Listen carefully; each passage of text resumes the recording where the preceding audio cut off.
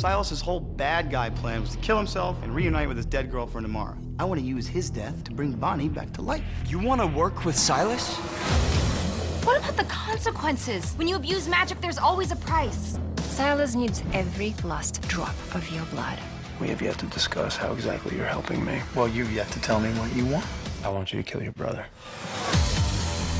The Vampire Diaries. All new this Thursday at 8, 7 Central on the CW. Silas's whole bad guy plan was to kill himself and reunite with his dead girlfriend Amara. I want to use his death to bring Bonnie back to life. You want to work with Silas?